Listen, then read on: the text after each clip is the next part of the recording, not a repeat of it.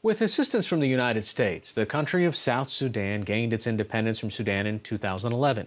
Civil war took over the new nation in just two years. It's led to famine, accusations of ethnic cleansing, and a massive refugee crisis.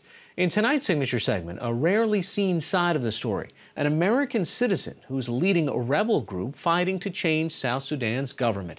This report was produced with support from the U.S. Holocaust Memorial Museum's Center to Prevent Genocide. NewsHour Weekend special correspondent Simona Foltyn and journalist Jason Patinkin made the treacherous journey into South Sudan. In the hills of northeastern Uganda, a concealed forest path leads across the border into South Sudan. The young nation, mired in a four year civil war, is increasingly difficult for journalists to access. So we use this hidden route to enter into rebel held parts of the country. Yeah, So this is the river we are traveling with Martin Abucha, a commander with a rebel group called the Sudan People's Liberation Army in opposition. What separates Abucha from other combatants in this war is he's a dual South Sudanese and American citizen with family in the United States. I would like to enjoy eating hamburgers. I would like to enjoy going to Burger King or McDonald's with my daughters and things like that. But I feel it's an obligation that I must carry. I don't want my kids to go through this. As we pass the peak of this hill, we cross into South Sudan and meet the rebels. For the next four days, we'll travel with Abucha to a base to see how these soldiers live and why they fight. Abucha is 45 and his life now is a far cry from his comfortable life in the United States. I have a tent, but it's necessary to have a sleeping mat. This is my military fatigue. Abucha is determined to fight to overthrow a government that stands accused of widespread human rights abuses and ethnic cleansing. You know, to us, we are not rebels. We're people fighting for their rights. Abucha's journey to the US began in 1995 when, at age 22, he obtained a visa to enter the US as a refugee from Sudan. He followed an uncle to Phoenix and ended up living there on and off for 15 years my whole goal of going there was to just get an education. After earning a Bachelor of Science, Engineering, and Masters of Business degrees, Abucha worked for companies like Honeywell and Hewlett Packard. He started a family, became a citizen, and a leading figure of Arizona's growing community of South Sudanese refugees. Phoenix is still my home. That's where I have my buddies. But do you sometimes miss the comforts of the United States? Sometimes, yes. Sometimes. But if I look into the suffering of our people, I think I should uh, spend more time here. This is primitive, yes, it is. But it's, we're good with it as long as nobody sits on us. We don't want to be imposed on, we want to govern ourselves. When South Sudan won its independence from Sudan in 2011, Abucha went back and took an IT job in the Census Bureau in this new nation of 12 million people. Abucha says there was rampant corruption in the fledgling government. To be honest, over 30, 20 to 30 percent of the money went to where we don't know. You know. We knew there was money in there, but we don't know what the money was used for. Disillusioned, Abucha left and went back to Phoenix. In 2013, just two years after the country won its independence, the civil war began as a power struggle over the country's top post between President Salva Kiir and former Vice President Riek Machar, who mobilized their rival tribes, the Dinka and the Nuer. The war has since spread through the country's southern Equatoria region, drawing in other ethnic groups, including Abuchas, called the Madi. Abucha, who underwent compulsory military training as a young man in Sudan, went back in 2014. He initially joined the rebels as a member of Machar's negotiating team. In 2015, the US brokered a peace deal, but it fell apart last year.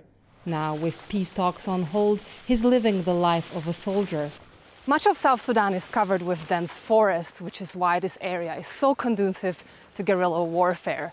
The bush provides cover and prevents the government from bringing in tanks and other heavy machinery. This allows the rebels to sustain their insurgency even though they're outgunned. Government troops control the main towns and roads in the area, while the rebels have the upper hand in the bush. Many young men joined the Sudan People's Liberation Army in opposition because of atrocities committed against their communities. Lokuku Charles says the South Sudanese army went after his family in Equatoria. They went at home. They came and arrested all the family members. Three sisters is arrested, and my mother arrested, and my wife with my children, which means all of my future. What do you think happened to them? What I think happened to them is they're dead. That's why I have four years in the bush. I have nowhere to go.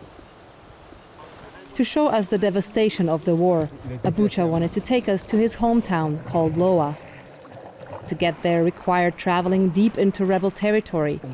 First, we crossed the Nile River, which flows north through South Sudan in small dugout canoes. Then we hiked for two days through the dense bush, escorted by the rebel soldiers. Every so often, we stopped to wait for the green light of a reconnaissance unit ahead of us to make sure it was safe.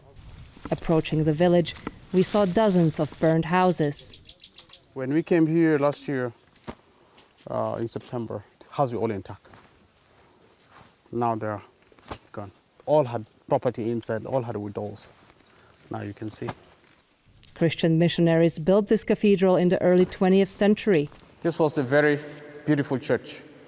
We to do uh, the way of the cross during Easter. This way we used to go. We go around this way, and you go back to the altar. I was an altar boy here in this church as well. Last year, rebels say government soldiers looted and ransacked the church, its health center, and school, turning this once vibrant community into a ghost town. Independent observers, including the United Nations and Human Rights Watch, blame President Kiir's army for most of the atrocities in this war, including civilian massacres and mass rape.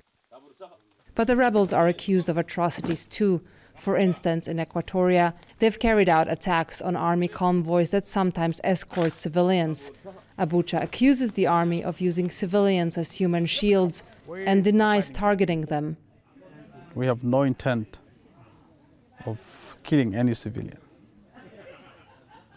Uh, if any civilian gets hurt uh, in our operations where our forces are engaged, uh, it's very unfortunate. Even lately, the government starts moving with civilian vehicles and uh, soldiers in these vehicles shooting.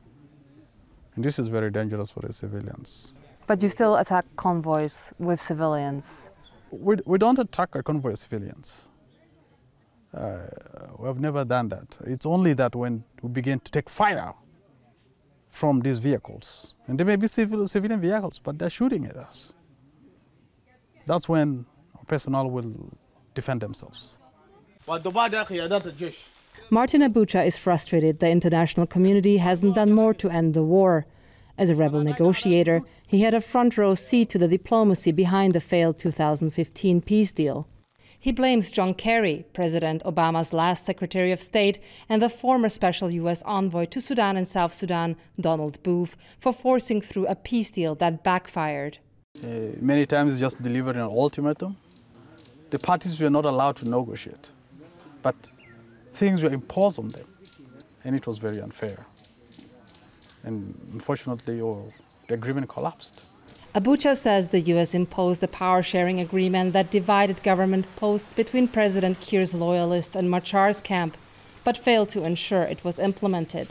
The demilitarization of South Sudan's capital, Juba, never happened, and the ceasefire never took hold. When the United States signed off that document as a guarantor, when things went wrong, they were not there to, uh, to support it. When it was being violated, they did nothing about it. Abucha says U.S. diplomats failed to stop President Salva Kiir from reneging on the deal. Three months after Riek Machar returned to Juba last year to serve again as vice president, Kiir's army chased him out of the country, and Kiir appointed another politician as his number two. In the past 15 months, as the fighting escalated again, South Sudanese civilians fled their homes, mostly across the border to Uganda. Today, if you have over 1 million people displaced and have taken refuge, refuge in, in Uganda in particular, it was because of that crisis. Food shortages resulting from the civil war have left 6 million South Sudanese, half the population, dependent on international aid. As Martin Abucha sees it, political negotiations needed to end this war require stronger engagement by global and regional powers. He says the US offers humanitarian aid, but stands on the sidelines as the violence continues. The United States uh, government is saying they'll spend over $2 billion since 2013. But I'm sure they could have spent less and stopped this war. We're talking about just the cost for human resources. I don't know how many people have died that you can never put value to the number of lives lost.